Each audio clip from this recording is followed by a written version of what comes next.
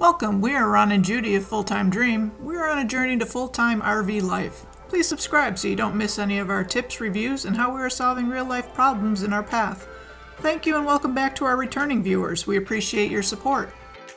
It was a 70 degree day in the last weekend in October. We headed out for our final trip of the season. We needed to empty our tanks and get our camper winterized. I booked us the weekend at Willow Bay Campground in the Allegheny National Forest, which is in Bradford, Pennsylvania. We did a full review on this park in a previous video, so be sure you check that out. It was dark when we arrived. The campground was pretty empty considering it was the end of October, not really surprising. But there were a lot of tent campers. Storms rolled in during the night, dropping the temperature significantly, and it was cooler and rainy the next morning.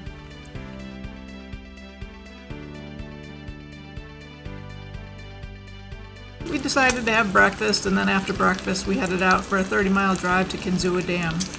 We also did a separate video on this too, so make sure you check that out.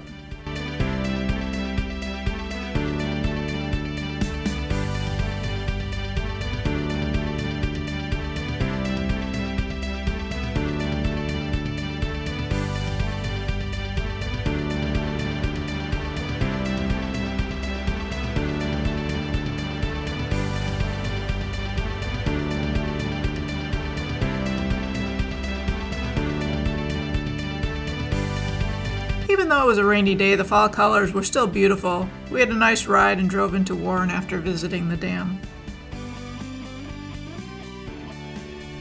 Later in the afternoon, we got back to the RV, had some lunch, and then went through the park to the boat launch. You can see from these pictures the lack of water. This is a result of that tiny dam 30 miles downstream.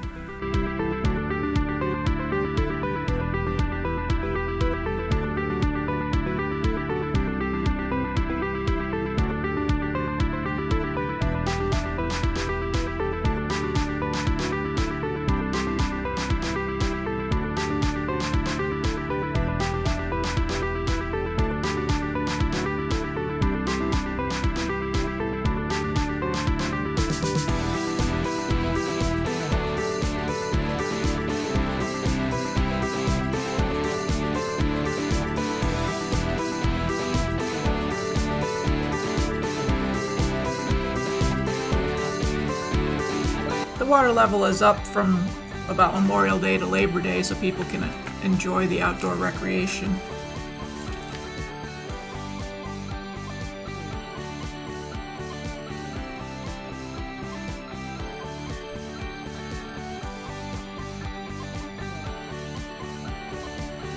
You can see how steep this boat ramp is and how high the water level usually is. Still amazes me just to look at this and see how much water that tiny dam can hold back.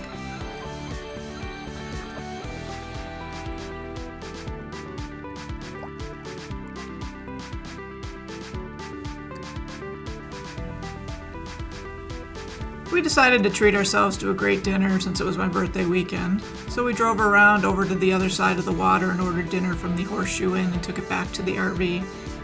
French onion prime rib. Definitely hit the spot. Sunday morning was bittersweet, of course. The sun decided to shine brightly. Checkout wasn't until 2 p.m., but we couldn't stay and enjoy the day. We had way too much to do. This, there was definitely a nip in the air when we woke up, and our neighbors who had full hookup sites across from us unfortunately woke to frozen sewer and water lines. We started to slowly pack up the camper. I started to bin stuff up for the winter storage and doing a little bit of packing so that when we got to our house we could easily unpack the camper.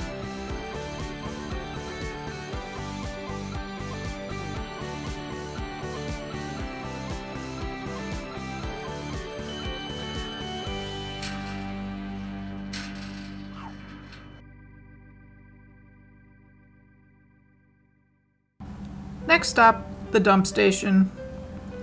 Always gotta have fun stuff going on. I usually line Ron up and he does the rest. Since this was our final trip, we rinsed out the tanks. Unfortunately, the water pressure wasn't great, but everything was clean when we finished.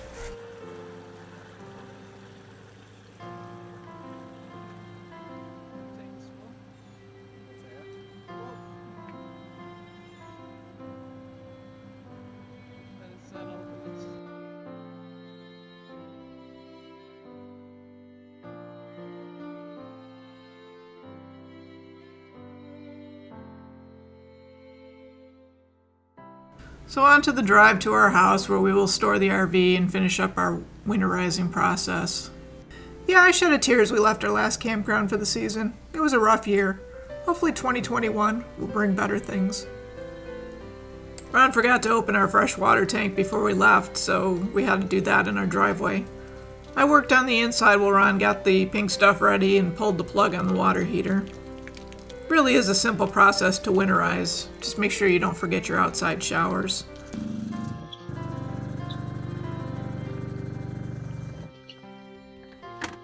So for the most part, it was a great weekend.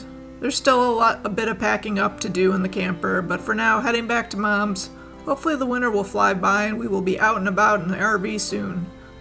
We will still be out adventuring, so please subscribe and ring that bell so you don't miss any of our adventures. Until next time, thank you.